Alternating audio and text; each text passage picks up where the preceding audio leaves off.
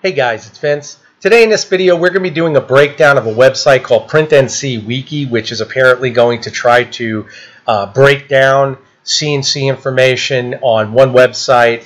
Uh, you can see over here on the left side, he's got a whole bunch of topics that he's covering. And I was directed to this site because there were some questions coming up from a potential client, and he directed me to it saying, this is what this site is saying. What do you think? Well, I'm going to cover what I think because it's kind of frightening on what's being actually displayed here. And I can tell you that what's happening here is what's happening all over the internet in terms of forum use is that people review forums and typically take what they found on forums and they disseminate it on a website. And that's exactly what we're seeing here. And I'm going to prove it um, with some information I'm about to provide. So first and foremost, let's discuss a topic that's very close to my heart. Um, and I'm going to show you how close this is before we even get started. You can see this person used my cable. There's my uh, DS Flexion. You can see automation right here. And you can see the MBR rating on the cable, which is right here, which is actually what he's covering on this topic point. Um, here's where we're going to discuss some things that keeps coming up. And I think there's a misconception when, with electricity as far as going from 110 or 120 volt to 220 volt where we become more efficient when we're using a spindle that's rated at 120 or 220. So what we're going to discuss here is VFD to spindle, the cable size that should be used from the VFD to power your spindle motor. Now I've done a video last week where a vendor was deciding to use 18 gauge cable to actually sell to power spindle motors. Now, guys, again, let's cover the basics so everyone's on the same page and there is no more confusion because, again, a website like this where he's just breaking down, you know, he says here uh, 2.2 kilowatt, 120 volt spindle uses 16 gauge cable. That is correct. What he forgot to put here is all the details of the cable regarding heat, and I'm going to discuss that detail and why it's so important. When we come over here, he's got 2.2 kilowatt, once again 2200 watt spindle, running at 220 volts. So for my guys out there in novice, that means that this spindle is more efficient, actually twice as efficient as the first one because it doubles the voltage. And the spindle uses 18 gauge cable. Now my electrical guys out there are probably shaking their head. And I'm shaking my head because it doesn't matter how familiar most of you are, you understand that a lower number under the AWG rating means that the cable is thicker. You can see that right here. The leads inside the cable have a greater diameter, 1.5 millimeter on 16 gauge versus 0.75 millimeter on 18 gauge. That means that this cable is more efficient in transferring electricity and dissipating heat. Okay, now when we go smaller, because he feels that you're running a higher voltage, which means it lowers the amp rating, let me explain for my novice guys out there. If a 2.2K spindle VFD is running a maximum of 20 amp output, then a 220 volt spindle VFD uh, will be running at max output 10 amps because it's more efficient. It's double the voltage. The issue is, is that when you double the voltage, and even though your amps are becoming more efficient, your heat is symmetrical to the amps. So that means that at 20 amps at 120, your heat is just as symmetrical as 220 at 10 amps. The issue resolves around when we drop our cable size, there's the potential to overheat that cable much sooner because, again, you're running 18 gauge leads. That means there's less copper. Hopefully, he's using copper. But if there's less copper, there's more heat, and that puts more stress on your casing. Therefore, in electrical, in general practice, best practice that is, you always go above the negative rating, meaning above what's known as subpar. You would never stay at the bare minimum. You'd always stay above. So in that case, 16 gauge is what would be required. And it should not be dropped if you go to 220. Okay? So let's cover that in detail. Like I said, this is extremely important to understand, and you can see this person decided to do that with the 1.5 kilowatt or 1500 watt spindle as well. He gives you this crap too, and it's crap. Okay. He also discusses shielding grounds needs to be terminated to both VFD and spindle. Well, this is a debate that's been going on for quite some time. And uh, again, I want to cover some things that many people out there, because I get this argument a lot, and here's what my argument back is, and I want you guys to see this. First of all, there's a company in Germany, for those of you not familiar, it's called Lutze VFD cables. Now, they make some of the most premier cables in the industry in commercial use. Now, this company is a German company. And if we read this paragraph down, it says most VFD cables use a dual layer combination of foil and braid shields. Other VFD cables may use a single layer overlapping copper tape shield which is not as flexible. In either case, the shield is designed to capture noise and power distortions created by pulse width modulations inside the VFD. Well, we all understand that, and that's what I basically have preached on my channel since day one. Um, the foil and braid design has the advantage of better cable flexibility and yields a smaller cable bending radius for tight installations. Once again, why I selected it. Regardless of which shielding system is used, the shield should be grounded to provide a low resistance path to ground so that electrical noise can be drained. Now, Here's where it gets different.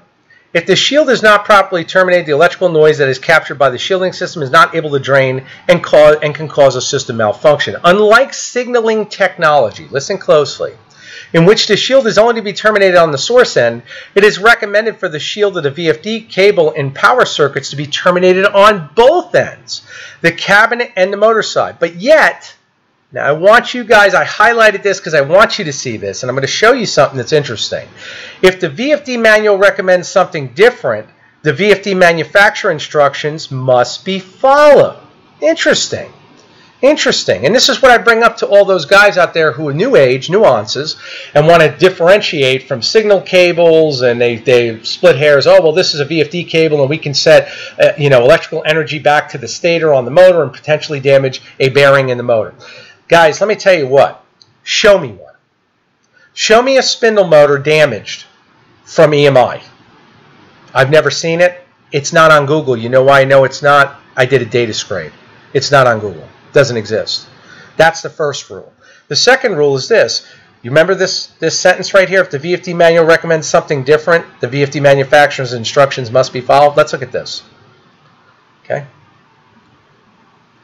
I did a whole breakdown on the user's manual overview from HY, which is the basically the largest, most consumable civilian-based VFD being used right now. you don't believe me, you can go on Amazon, check out the stats on sales. The grounding process right here, and you can see it's highlighted. I'm going to cover just a brief section of this video I made, and you can see it's made in January 25th of 2020, so it's been on uh, YouTube for quite some time. It states uh, 220, 380 volt, third grounding method, grounding resistance should be uh, 100 ohms or lower. 380 volt special grounding method, grounding resistance should be 10 ohms or lower. But as we come down, it says the grounding method for several inverters together should be done as the first and second diagrams below. I'm going to hit play here and let myself, at this point in time, discuss what this user's manual states. And when I hear guys say that it's not covered in the manual, um, it, that's really frustrating because I know every manual discusses grounding. And I know you may not understand it fully, but you should get something out of this because you can see how well written this is here. Grounding, uh, grounding terminal E. Be sure to correct ground, or excuse me, be sure they put correct grounding uh, to make correct grounding. Um, 220 volt class, the third grounding method, grounding resistance should be 100 ohms or lower uh, 380 volt class, the special third grounding method, grounding resistance should be 10 or lower. Now, again, on the ohms, I've already covered that in previous videos. I recommend 3 or under. Um, if you're doing everything right, that should be really easy to retain. Using a quality meter, I would go through and double check that on your system. The entire system, cannot emphasize that enough, should be at 3 ohms or lower. And I know there's certain systems out there that do not have components in areas that are meeting metal to metal, whether it be conductive. If you're using um, bearings that are those roller plastic bearings on systems, again, um, on different machines, if it's not conductive, it's not going to ground through conduction on the remaining components if they're metal if they're not making metal to metal contact. So you'll have to go through the entire system and validate those specific areas that you're three ohms or lower. Okay? If you guys have questions on that, you can check out my previous videos. I've done that. I'll put a link in the description at the bottom so you can check them out as well. Choose grounding wires according to the basic length, size, and technical requirements of the electric equipment. Okay. Uh, do avoid sharing grounding wire with other large power equipment such as electric welder, power machine, etc. The grounding wire should be kept away from the power supply wires. To large power equipment. Um, again, this is interesting because if you're using a ground rod, it really it's irrelevant as far as what it's actually shared with. I've yet to see an issue with that. Um, again, this is more their interpretation on that perspective, but here is something we all need to realize. The grounding method for several inverters together should be done as the first and second diagrams. Now, they're saying for several inverters, in your case, many of you are only running one inverter. In that case, or one system it's still going to be the same. Uh, should be done as the first and second diagrams below. And we'll come over here. Avoid the third loop. Okay, and that's just meaning a ground loop. And I get asked about this topic all the time. This right here is illustrated in the user's manual on page 13. Once again, I told you I'm on page 13 you can see what we've got here. We've got a terminal here, a terminal here, and a terminal here. All three are coming back to one central grounding point. This is known as a star point ground system. Okay, you see they have good.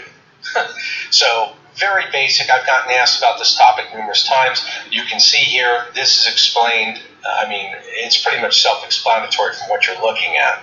As we go to the next one, this is known as a daisy chain method. Okay, I've gotten asked about this. Guys do this with drives all the time, and when you're doing anything with power, this is not acceptable. They say it's acceptable because it's a ground method, and that's fine. It is acceptable in a ground method. I don't recommend it. This is best practice, but this will work. Meaning there's one ground location, and then it goes from the ground right here, transfers over to this conductor, transfers over here, and therefore you've got a good ground. This, however, is not a good ground. This is. Now, this is a ground loop, gentlemen. This would lead to potential of causing problems, and that's why we do not do it. Now, whether or not you want to take someone else's uh, advice, that's fine. I want to just point out some things. Even when I said this back when I created this video, I'm going to hit play and I wanted you to hear what I said. Considered a ground loop can see what I've got illustrated here, lead attached twice. So we have the ground right here. This would be a ground rod, for instance. And then we're feeding off to our equipment. And you can see we have a lead coming in, lead coming in, lead coming in, and then another lead coming all the way back. That leaves the area open for differential and voltage potential, which could lead to a possible ground loop. I've gotten questions about guys reading um, more modern type literature on VFD cables where they're saying now to ground both ends. And again, I always answer that question the same way. You guys have to make the assessment of what to do with your system. I'm not there with you, but here's the way I look at it, and I've done this for years. If the information has been the same for years, where it's been one end of the cable gets grounded as far as the shield drain to prevent a ground loop. I don't believe in changing that because if I change that, I leave myself open for the potential of a ground loop. To me, I'd rather not have the potential of a ground loop and see if I'm fine. If I find that I'm not fine, I can always ground the opposite end. I do not recommend that, and I will say that again. I do not recommend that over. Now, that I've said all this, and I've said it back even in January 25th of 2020. This was when this video was published. I want to show you guys something else that I feel is definitive evidence. This is my eBay store. And in my eBay store, I sell a lot of spindle cables. Here are my spindle cable listings. But rather than tell you what I sell, I'm going to give you a taste of exactly how many I sell. On my 10 foot standard spindle cable, I've sold 332. That's just that model spindle cable. My other standard 20 foot spindle cable, 426. I'm going to keep going. Just a couple. We'll go 20 foot on my DS Flexion, 383 sold. These were just released too, gentlemen. Uh, look at this. Here's my assembled spindle cables, 64 sold. I'm going to keep going. 15 foot standard spindle cable, 72. You guys can do the math with this. I'm just going to keep going. You saw the listings. Here we go. Another assembled 10 foot, 37 sold. I'm going to keep going. This will be the last one. 15 foot DS Flexion, 49 sold. Just do the quick math on that, okay? So we can honestly say I've sold well over a thousand. If we come all the way down here, well, probably closer to 1400, 1500. That's just through eBay. That's not through direct invoice through PayPal. Now, I want to show you something else. We know eBay is an unbiased site in as far as feedback. Go in my store, 100% feedback, 7,800 items sold. 7,800 items sold, 1,300 followers. So when we look at these stats, and this is an open realm where feedback is not manipulated, it's open to the general public. You have to think in terms of logic that I've sold well over 1,300 spindle cables just through eBay, not including direct invoice through PayPal. And I've never had anyone ever say, you know what, I only grounded the spindle cable at one end and it's not working. Because it would be reflected in my feedback, gentlemen. Think about it. Really interesting is when we break it all down, and we could say this, you know, time time again, HY in our own user's manual doesn't reflect it. Now, how many guys are using HY spindles and VFDs, and how many guys have damaged a spindle motor that you've read on a forum because of EMI? No, what we read on forums is they damage them because they burn them up because of incorrect programming or incorrect hookup in terms of power leads. How do I know this? This is not my first rodeo, and after about 20 years online doing this, I can tell you that's what does it, and we all know it. So whatever you choose to do and ground your system with, that is your business. I'm telling you my business as a vendor and seeing this, I want you guys to be on the right page. And I hope many of you stay with me for this video because it is getting a little longer, but with good reason. Let me come over here. This is where things get really interesting, where this individual discusses and shows pictures again of enclosures that are built and we can see here we have a VFD installed inside the enclosure definitive no-no right by his power supply, which this is just a mass production of EMI. And as we scroll down, he discusses EMI. This is where it gets comical. Keep distance between noisy and sensitive parts. Well, guys, this is an HY VFD. And then as we come up here, on this system, in best practice, you do not install a VFD in close proximity. As a matter of fact, he says it again. Separate noisy parts from sensitive parts. See EMI. Here's his EMI part. And here's the problem what we're seeing. We can see last edited by. And as you go through this site, you'll see these little quotes of whoever is touching these excerpts as far as information. We have no idea who this person is. None. But one thing I can tell you is they link a lot to Amazon to buy parts from and do all that. And, you know, as we go through all of this, you can definitively see what we're looking at. This is basically a promotion.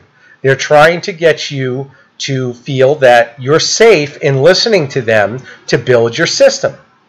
And I'm telling you guys, be careful. Be careful with what you're doing and be careful on what you're working with because, again, as you see this stuff, you will see there are some serious, serious issues. Matter of fact, um, you can see he covers everything from cable insides the enclosure. Uh, the enclosure. This is interesting. Inside the enclosure, you can use solid wire. Otherwise, you often would need ferrules. He's right. You would need ferrules. Do you know why no one uses solid wire inside an enclosure, guys? For those of you guys out there who have not worked with solid wire, it is basically used in stagnant situations where manipulation is not required, like your breaker box. Once it's put, it's done. These installations you may have to go back in and modify. I do not recommend using solid wire. Okay? And again, all of your wiring should be shielded when it comes to motors. If we look up here, now whether you're selling a system or buying information or listening to information, I guess that's the best way to put it. Let's look at who we have here. We have somebody that's obviously, if you click on his purchasing area, buying and assembling kits and tools. I mean, you can see here, it's all a ploy to go over to a store. And then when we come down here, and it, this is where it really gets interesting to see what kind of knowledge base this person has. Because again, last edited by, there's just numerous people. This is last edited in October 9th of 2022. So the website's new. If you come over here to troubleshooting, there's like two or three excerpts on troubleshooting. We know that most of the forums are dictated around troubleshooting. So if you really understood CNC, why not have a giant troubleshooting section? That's what I deal with mostly on, on potential client systems is how do I do this? How do I do that? What do I do with the software? What do I do? None of that. You've got like one or two paragraphs. So look at what I'm telling you. Be very careful in the way you proceed to move because I'm telling you right now, there is a lot of misinformation out there and it is terrifying. This stuff is amazing. Now, I will not, I will say this, there are certain instances that are on this site like his diagrams and that, they're probably dead on. And the reason these are dead on, and we have to look at this logically, is he looks at the wiring diagram that came with the board or what's already posted online and just regurgitates the information to you. That's why most of this stuff you can't get wrong. What usually you get wrong is when you start making electrical calls and you have no understanding of what you're discussing. And there's no actual facts to what you're discussing other than what he found online and tries to basically regurgitate information.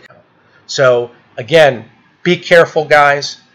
Think about what you're doing. Be careful of sites like this. They are just popping up. As a matter of fact, we go to this site and try to find out who's posting on it. You can't find anything. The only thing you can find is when you go to the home page,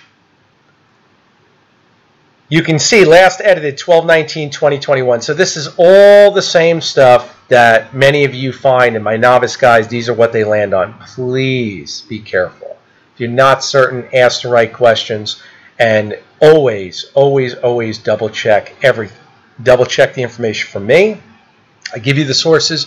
Do your homework. Put the time in if you're serious. If not, you're going to buy.